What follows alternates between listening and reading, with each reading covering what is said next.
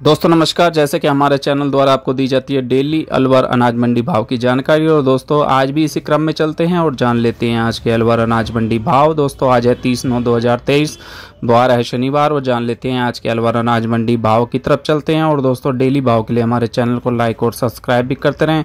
दोस्तों, सबसे पहले चलेंगे सरसों का भाव। तो दोस्तों, सरसों का भाव स्थिर बना हुआ है, लगभग पचपन सौ और साढ़े पचपन सौ रुपये प्रति क्विंटल के बीच में बयालीस कंडीशन का जो रेट हमारे अलवर मंडी में जो बयालीस कंडीशन का रेट खुलता है।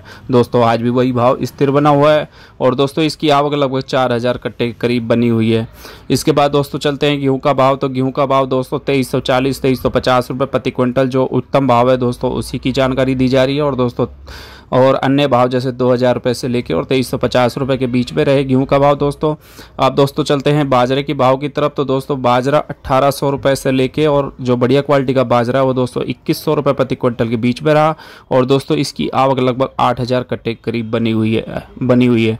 दोस्तों इसके बाद दोस्तों कपास का भाव तो कपास लगभग पैंसठ सौ सौ रुपये से लेके और सात हज़ार रुपये प्रति क्विंटल के बीच में बनी हुई है और दोस्तों इसकी आवक दो दो हज़ार से लेके और तीन हज़ार पल्ली के बीच बीच में बनी हुई है।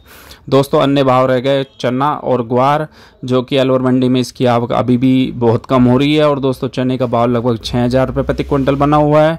और दोस्तों, ग्वार का भाव छप्पन सौ रुपये प्रति क्विंटल, जो कुल मिलाकर स्थिर बना हुआ है। और दोस्तों, इसके अलावा अन्य जिनसों की आवक अलवर मंडी में नहीं होती है। और दोस्तों, ये रहे आज के अलवर अनाज मंडी भाव। धन्यवाद।